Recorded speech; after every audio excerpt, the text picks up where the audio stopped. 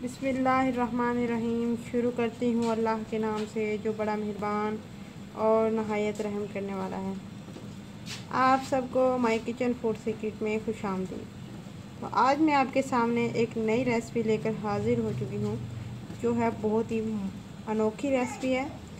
ये ये ले ले, ये देख लें जी, हमने ले लिया है बतख का गोश्त। आज हम बतख का गोश्त बनाने वाले हैं। बहुत ही मज़े का गोश्त बनता है। तो बतख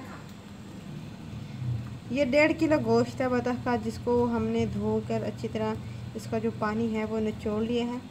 आप माशाल्लाह देख सकते हैं बतख का गोश्त बिल्कुल कलेची की तरह होता है साफ़ शफाफ बहुत ही ज़्यादा ताकतवर गोश्त होता है ये। तो इसको बनाने के लिए हमने क्या करना है? तो इसको सब, इसके लिए सबसे पहले लहसुन और अदरक का पेस्ट दो टेबल स्पून हमने डाल देना है पीस कर। और उसके बाद हमने एक चम्मच नमक शामिल कर देना है इसमें। एक चम्मच जो है वो हमने पिसा हुआ धनिया इसमें शामिल कर देना है। साबित पिसा हुआ धनिया जो अगर आपके पास साबित है तो उसे पीस लें। और आधी चम्मच हमने हल्दी इसमें शामिल कर देनी है। दो चम्मच हम इसमें डाल देंगे लाल मिर्च। होममेड मिर्च है हमारी, ये लाल मिर्च। एक पाव हमने इसमें दही शामिल कर देनी है।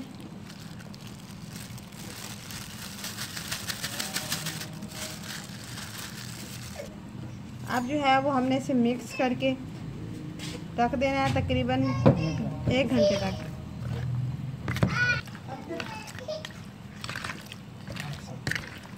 तो चले जी, इस, इसको हमने दो, एक घंटे के लिए रख देना है और एक घंटे के बाद इसको हम बनाएँगे। एक घंटे के बाद मिलते हैं।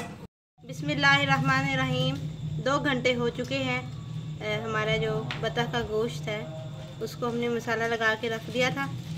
अब हमने कुकर ले लिया है और उसके अंदर घी डाल लिया है। और घी जो है वो हमारा गर्म हो चुका है। उसके अंदर एक अदद हमने प्याज ले लिया है, उसको काट लिया बारीक बारीक और इसका जो है वो प्याज़ों को फ्राई कर देंगे उसको हम फ्राई कर लेंगे। अच्छी तरह ब्राउन कर लेंगे, उसके बाद मिलते हैं। हमारे जो प्याज है, वो फ्राई हो चुके हैं, इसको हमने ज़्यादा काला नहीं करना। तो ज़्यादा इसको ब्राउन नहीं करना। अब हमने बता का गोश्त, जो हमारा मसाला लगा हुआ था, वो डाल के, वो इसके अंदर डाल दें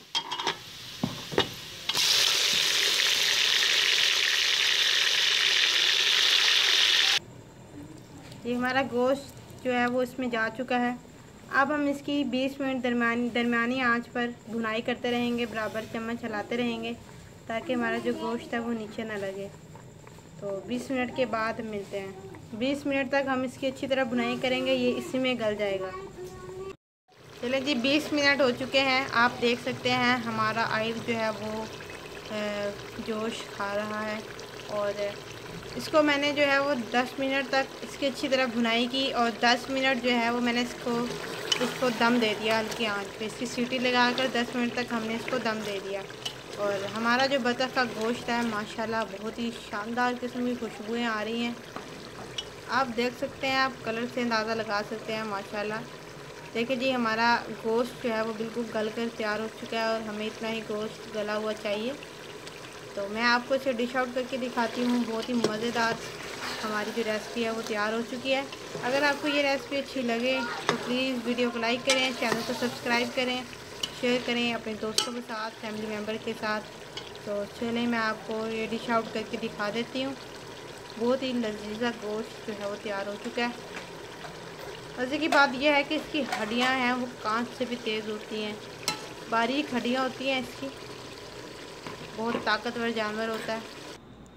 चले जी, हमारा लजीजा गोश्त, बतख का गोश्त तैयार हो चुका है। माशाल्लाह माशाल्लाह, नमक मिर्च बिल्कुल परफेक्ट है। ऐसे ऐसी खुशबुएँ आ रही हैं कि दिल करता है कि बंदा सारा खा जाए। तो बहुत ही ज़बरदस्त किस्म किस्म की खुशबुएँ जो हैं वो चारों तरफ़ चार चाँद लगा रही हैं। तो इसी, आज की इस वीडियो का यही अख्ताम करते हैं। अगर आपको ये वीडियो अच्छी लगे तो लाइक करें, चैनल को सब्सक्राइब करें। बहुत शुक्रिया। अल्लाह आपका, मेरा हम सब का हामी नासिर हो।